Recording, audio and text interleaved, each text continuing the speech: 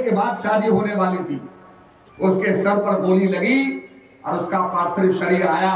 मैं सम्मान देने के लिए पहुँचा, अंत्येष्टि लिए पहुँचा, उसके पिताजी बिलख बिलख के रो रहे थे। दूसरा ऑफिसर एक हफ़्ते के बाद अपनी वेडिंग एनिवर्सरी मनाने के लिए देहरादून आ रहा था। उसको भी गोली लगी, वो भी मर गया। हमारा हृदय रो रहा था। और सब ये कह रहे थे, माननीय प्रधानमंत्री जी, कुछ करो डू समथिंग और माननीय प्रधानमंत्री जी ने सेना के अफसर को बुला के कहा यू आर फ्री नाउ आप स्वतंत्र हैं और आप मौका और समय आप चुनिए क्या करना है. आतंकवाद का निस्त नाम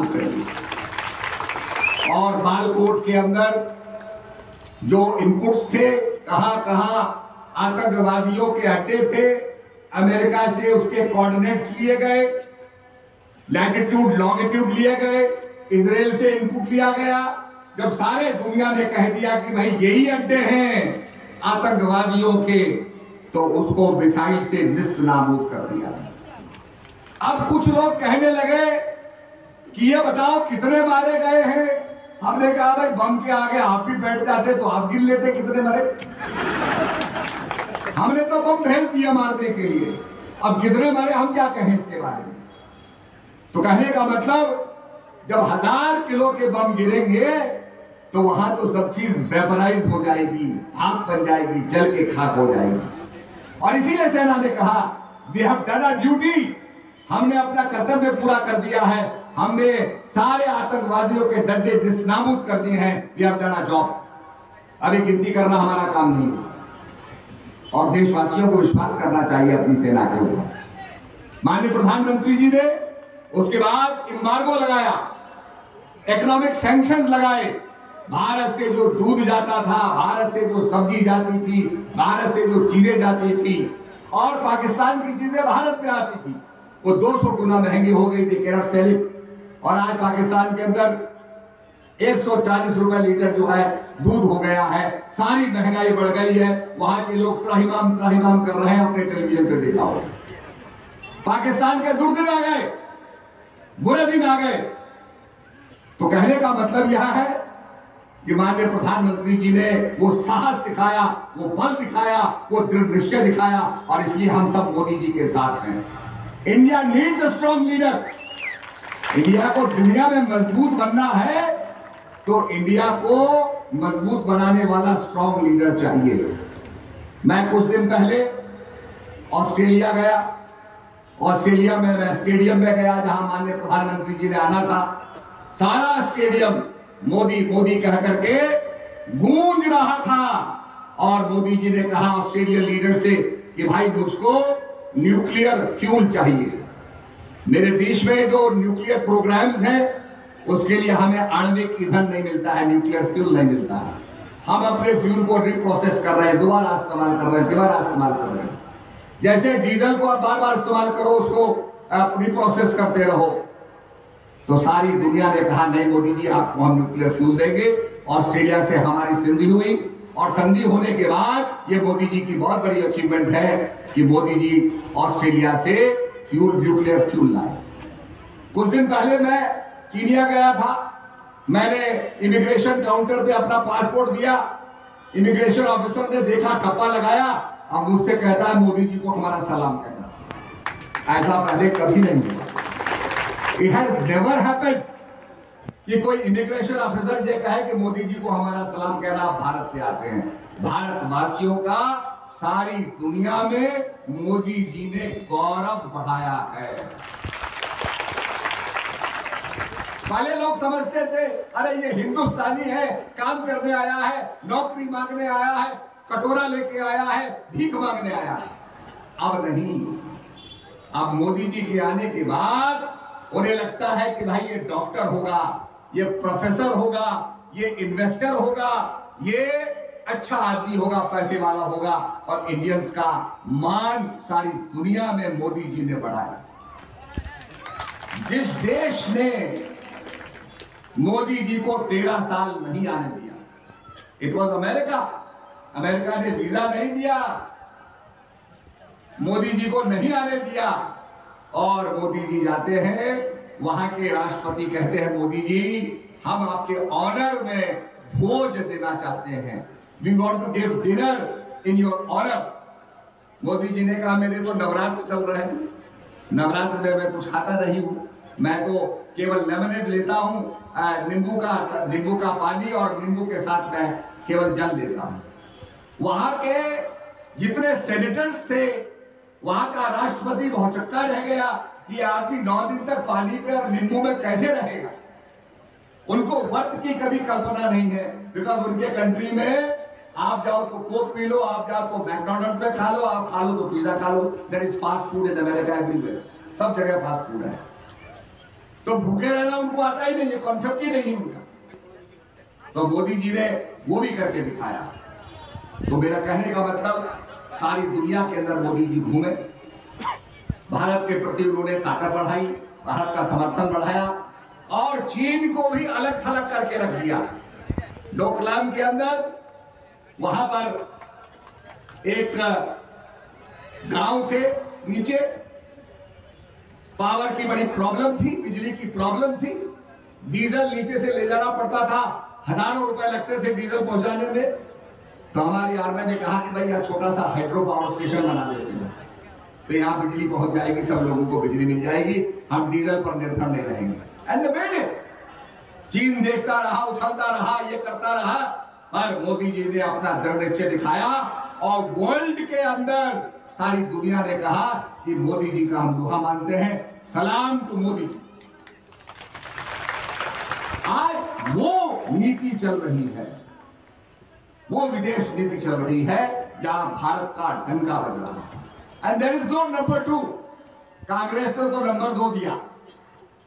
कि भैया, जब युवराज आएँगे, तब वो निर्णय लेंगे, युवराज आएँगे, तब फैसले लेंगे। तीस साल के बाद इट टुक थर्टी इयर्स तीस साल लगे भारत के प्राइम मिनिस्टर को ऑस्ट्रेलिया पहुँचने में। क्योंकि कांग्रेस नहीं चाहती थी कि वहाँ कोई जाए और न्यूक्लियर फ्यूल लाए तो ये काम तो राजकुमार का काम है, राजकुमार करेंगे, दूसरा कोई थोड़ी कर सकता। तो भारत पीछे रह गया। कई संधियों में भारत पीछे रह गया। कई अपॉर्चुनिटीज़ में भारत पीछे रह गया। पर मोदी जी ने कहा, नहीं, मेरा भारत पीछे नहीं रहेगा, मेरा भारत आगे जाएगा। भारत के मान को बढ़ाया। ऐसे व्यक्ति को हमें पाँच साल ही नहीं ऐसे व्यक्ति को हमें मौका देना चाहिए, मोदी जी। बार बार बने भारत के प्रधानमंत्री, भारत और।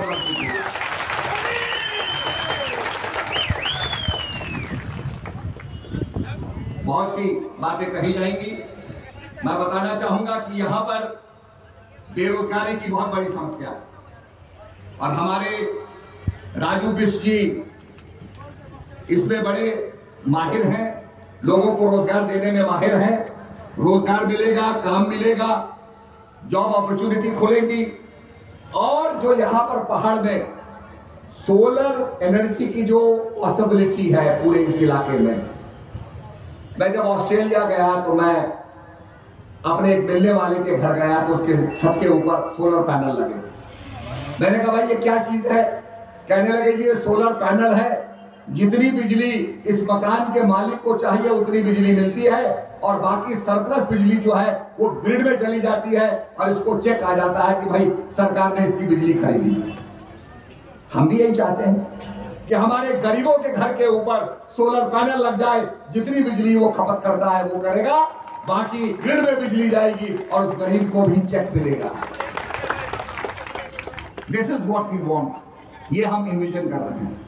यहाँ पर मकानों की शॉर्टेज है। आजकल तो गडकरी जी हमें बता रहे थे कि पाँच लाख में मकान बन जाएगा।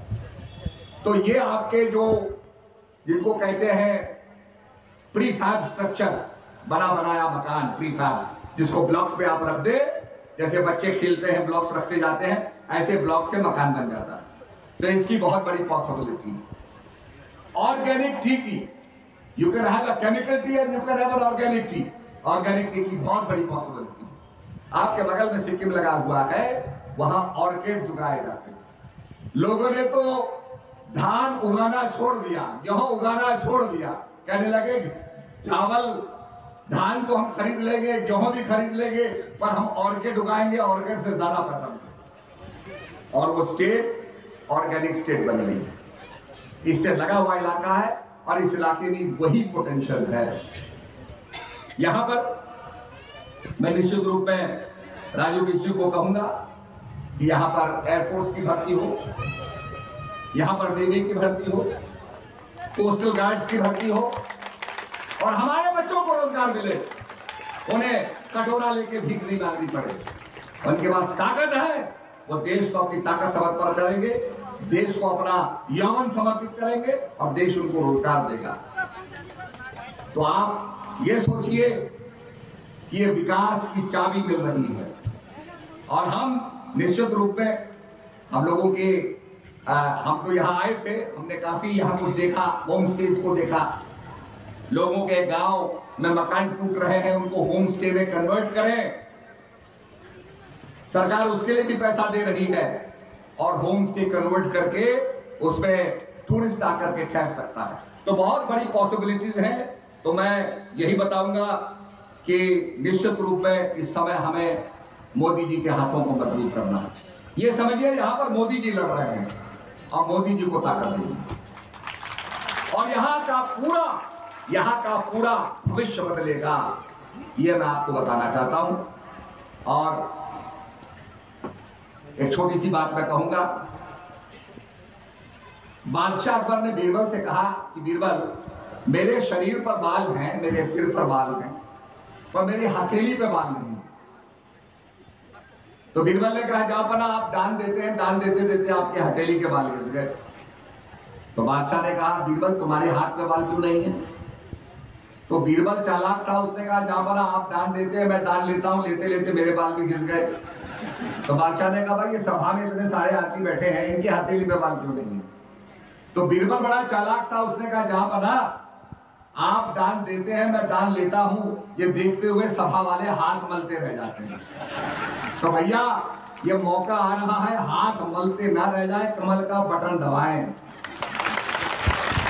कमल में ही लक्ष्मी बैठ के आती है। विकास जो होता है, कमल पर ही बैठ के होता है। और हमारे हिमालय में तो एक ब्रह्म कमल होता है, जिस पर ब्रह्मा जी बैठते हैं। तो विकास कमल से होगा, कमल का बटन दबा करके राजू जी को यहाँ से उनका मार्ग प्रशस्त करें। राजू जी ने मुझे फ़ोन किया कि आपकी आवश्यकता है, आपके बहुत यहाँ पर मानने वाले हैं। मैंने कहा, हम सब विकास को मानते हैं। जो अध्यात्म पुरुष होते हैं, वो चाहते हैं कि जनता का विकास हो, अध्यात्म में विकास हो और भौतिक माध्यम हमारे दोनों पैर बराबर होंगे, हम तेज़ी से भाग सकते हैं। अगर हमारा अध्यात्म में हम आगे बढ़ गए, भौतिक भौतिकवाद में आगे नहीं बढ़े तो हम लगड़ाने लग जाएँगे।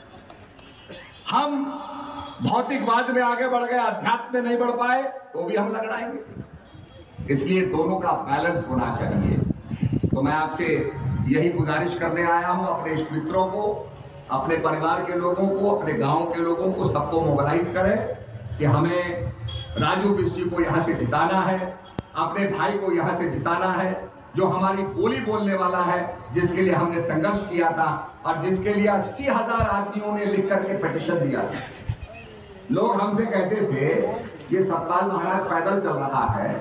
लोग कागज़ पर लिख रहे हैं कि हमें नेपाली भाषा चाहिए। इससे क्या नेपाली भाषा मिलती है? क्या इसको आठवीं अनुसूची में मान्यता मिलेगी? पर हमारा संकल्प था।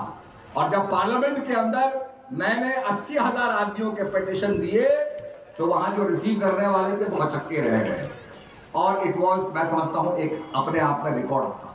उसका इतना प्रेशर पड़ा, इतना वज़न पड़ा कि हमारी पार्लियामेंट ने बिल ला करके आठवीं अनुसूची में नेपाली भाषा को मान्यता मैं विल वे जहाँ पर इच्छा शक्ति होती है तो वहाँ परमात्मा का भी आशीर्वाद होता है, वहाँ बुद्ध का भी आशीर्वाद होता है।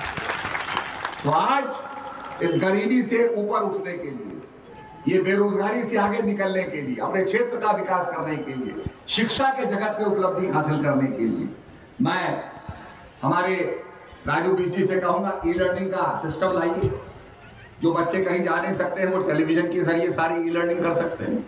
जहाँ पर टीचर का क्वालिफिकेशन ना हो, वहाँ ई लर्निंग के ज़रिए बहुत काम है। तो इसकी बहुत बड़ी पॉसिबिलिटीज है। और हमारे बच्चों को अगर लेटेस्ट टेक्नोलॉजी मिलेगी तो हमारे बच्चे दुनिया के अंदर एक रिकॉर्ड कायम करके दिखाएँगे हो गई है पीर पर्वत सी पिघलनी चाहिए। इस सिमल बाड़ी से कोई गंगा निकलनी चाहिए। मेरे सीने में ना सही तो तेरे सीने में सही। कहीं भी आग, लेकिन आग जलनी चाहिए। सिर्फ़ हंगामा करना मेरा मकसद नहीं। सिर्फ़ हंगामा करना मेरा मकसद नहीं। मेरी ये कोशिश है, ये सूरत बदलनी चाहिए। और इस सूरत को बदलने के लिए माननीय प्रधानमंत्री नरेंद्र मोदी जी ने राजू बिस्ट को आपके बीच में रखा है, आपके पास भेजा है। इनको प्रचंड बहुमत से यहाँ विजय बनाइए और विकास का मार्ग प्रशस्त करिए। बहुत बहुत धन्यवाद। भारत माता की